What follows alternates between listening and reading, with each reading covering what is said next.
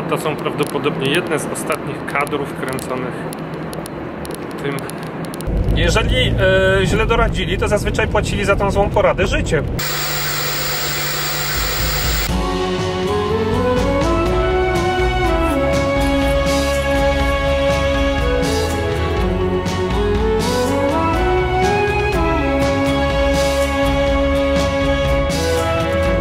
Dzisiaj będzie przepis na spaghetti z cukinii. Bierzemy cukinię, bierzemy taką obieraczkę, jak wam przed chwilą pokazałem i no, obieramy w sensie tą cukinię, z niej robimy coś takiego. No takie. Takie jakby tagliatelle właściwie, a nie spaghetti. Na patelnię rzucamy po kolei trzy ząbki czosnku. Ja to tam nie tak po prostu na takie plasterki kroję. No i wrzucamy to wszystko na oliwę. Czosnek.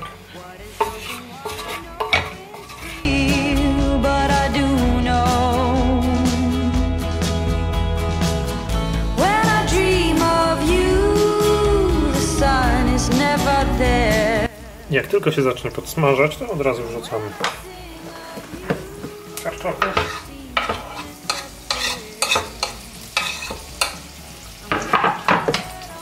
I tą cukinię.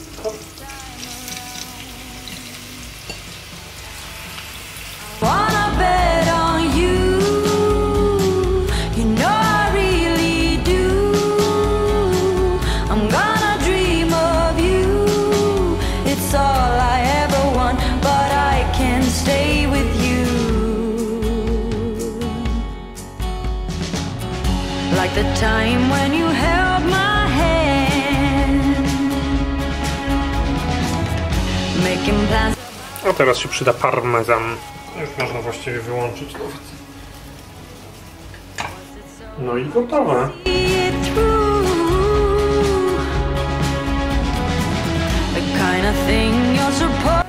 I to trwało tak naprawdę 10 minut w całości.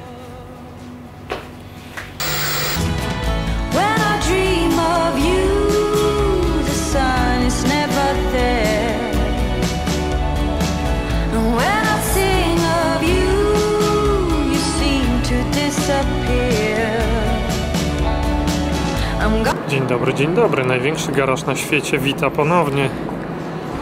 Ciężki poniedziałek.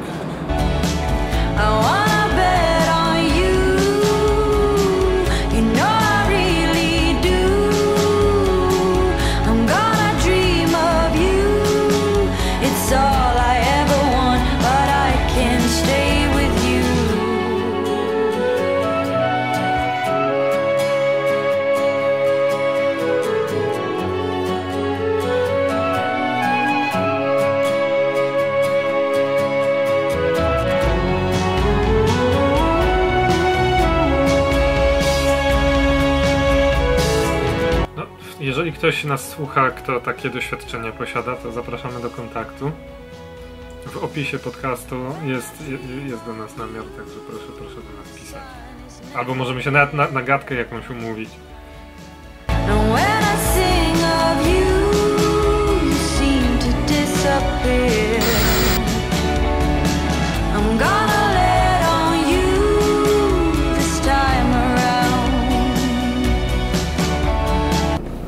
Hej, hej, hej! Cześć i czołem! Co usłyszysz w każdym tutorialu odnośnie prowadzenia kanału na YouTubie? No usłyszysz, słuchaj, w każdym odcinku umieść call to action, najlepiej na końcu, żeby tam ludzie komentowali, żeby klikali lajki i żeby subskrybowali, bo jak nie zrobisz call to action, to nie będą klikali. Moja filozofia życiowa mówi, nie rób tak jak wszyscy. Czyli jeżeli wszyscy youtuberzy tak robią, no to ja tak nie będę robił. Więc od dzisiaj nie będzie żadnego call to action w moim wideo. Nie będzie ani mówienia, czym się zajmuje ten vlog, o czym rozmawiamy, ani nie będzie na końcu prośby do ciebie, żebyś subskrybował. Zakładam, że jesteś na tyle inteligentna, inteligentny, że jeżeli te treści, które tutaj widzisz, ci się podobają, to potrafisz znaleźć ten klawisz subskrybuj na dole, kliknąć dzwonek i to zrobić. A jak nie, to trudno. Tak generalnie wolę mieć na tym kanale tysiąc rozgarniętych subskrybentów niż milion nierozgarniętych.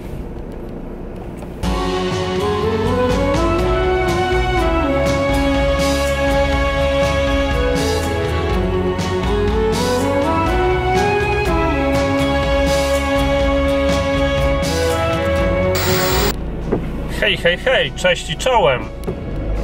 No to wygląda na to, że zmienię chyba aparat, na którym filmuję tego vloga.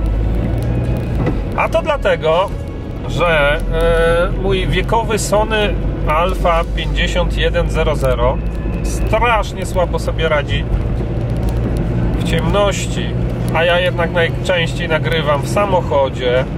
W Polsce zima, to zasadniczo pół dnia jest w ogóle ciemna. E, no dodatkowo ten obiektyw szeroki, którego używam, on też najjaśniejszy nie jest, bo to jest tylko f4.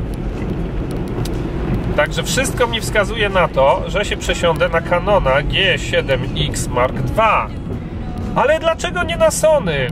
No z dwóch bardzo ważnych powodów. Po pierwsze, Canon G7X Mark II ma o wiele, wiele lepszą stabilizację obrazu niż jakikolwiek aparat Sony. No może poza A7S albo A6500, ale to są aparaty, które kosztują taką kasę, że to w ogóle bez porównania, tak?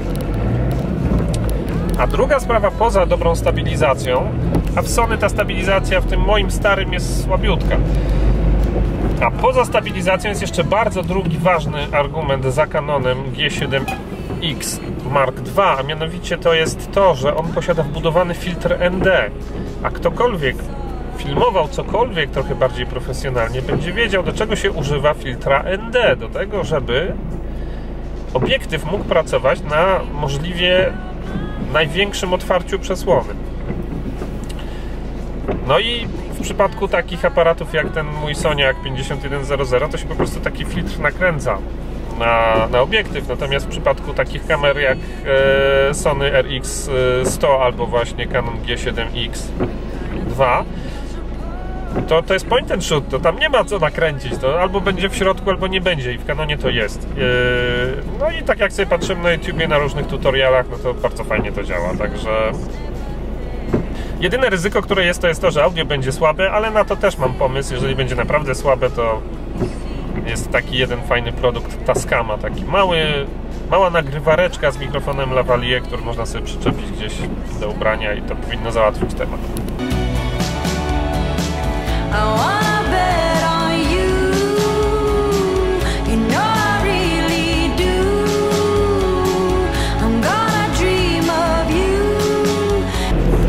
A dzisiaj chciałbym z Tobą szybciutko porozmawiać na temat doradztwa.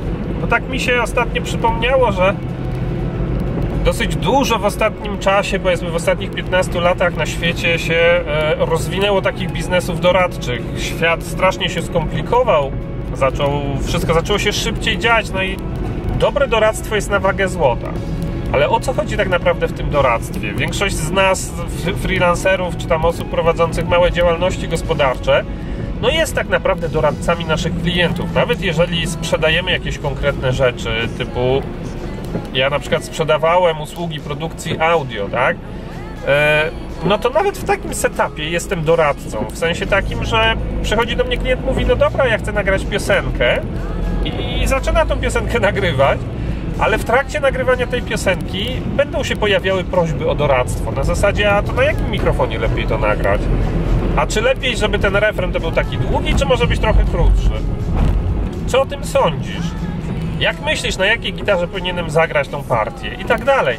E, I mimo, że ja sprzedaję w sumie usługę inną, no to jestem doradcą i doradzam temu muzykowi, jak on ma sobie skonstruować swoją piosenkę, jakich ma użyć instrumentów. Niby teoretycznie powinienem wyjść z założenia, no kurczę, przychodzi gość do mnie, nagrywa, Dlaczego on tego nie przemyślał? No niektórzy przemyśleli, niektórzy nie. Ja pamiętam jak 15 lat temu nagrywałem swoje pierwsze płyty, no to nie miałem takich rzeczy przemyślanych też.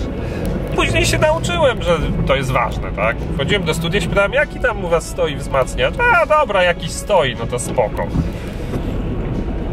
Teraz już wchodzę do studia z własnym wzmacniaczem. No i e, w doradztwie jest jedna bardzo ważna rzecz. O której coraz więcej ludzi dzisiaj zapomina. Mianowicie to jest odpowiedzialność. To jest w ogóle coś takiego, od czego dzisiejszy świat ucieka, tak? W sensie wszyscy starają się pozbawić tej odpowiedzialności, bo odpowiedzialność to się równa ryzyko, tak? Jeżeli bierzesz na siebie odpowiedzialność, to jeżeli się pomylisz, to zapłacisz karę, to wylecisz z pracy, to coś tam, prawda?